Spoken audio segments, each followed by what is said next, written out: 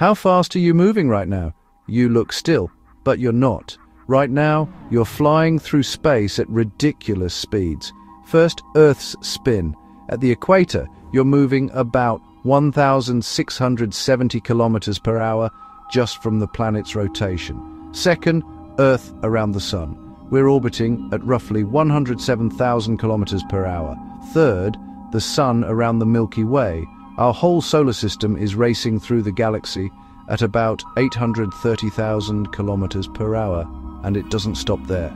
Compared to the afterglow of the Big Bang, the cosmic microwave background, our galaxy is drifting at roughly 1,330,000 kilometers per hour. Add it up, and you're never still. Every second of your life is a high-speed ride through the universe, and your home is a moving target on a moving world in a moving galaxy. Space isn't empty, it's motion. Like and subscribe for more real cosmic reality checks. Orbit Bites.